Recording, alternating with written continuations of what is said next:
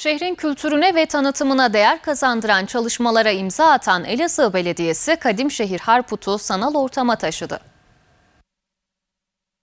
Elazığ Belediyesi Bilim İşlem Müdürlüğü Medeniyetler Beşiği Harput'un tarihine ilişkin A'dan Z'ye görsel ve yazılı bilgilerin yer aldığı web sitesini hizmete sundu. Geniş içeriğiyle adeta Harput'un dünyaya açılan penceresi olan web sitesinde Harput'un tarihi, kültürü ve mutfağı, Harput'taki tarihi eserler, Harput Kütüphanesi, Harput'a ait geçmişten günümüze fotoğraflar, videolar, güncel haberler ve 7-24 Harput'un izlenebileceği canlı yayınlar yer alacak. Son web teknolojileriyle desteklenen site, içerisinde yer alan arama motoruyla binlerce yazı ve makale arasından Harput'la ilgili tüm bilgilere hızlıca ulaşılmasını sağlayacak. Telefon, tablet ve bilgisayardan girişlerde web sitesinin duyarlı özelliğinden dolayı site tüm cihazlara uyumlu bir şekilde çalışıyor. Devam eden SEO çalışmaları tamamlandığında Türkiye'de ve dünyada arama motorlarında Harput yazıldığında ilk sayfada ve ilk sırada çıkarak Harput'la ilgili insanların doğru bilgiye ulaşması harput.web.tr'den sağlanabilecek. Site ziyaretçilerine önemli tarihi yerleri 3D sanal turla adeta yakından inceleme fırsatı sunacak.